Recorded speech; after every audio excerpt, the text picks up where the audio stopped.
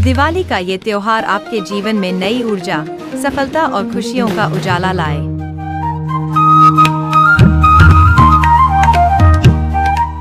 शुभ दीपा नमस्कार, आप सभी को दीपावली की हार्दिक बधाई एवं शुभकामनाएँ। हैप्पी दिवाली।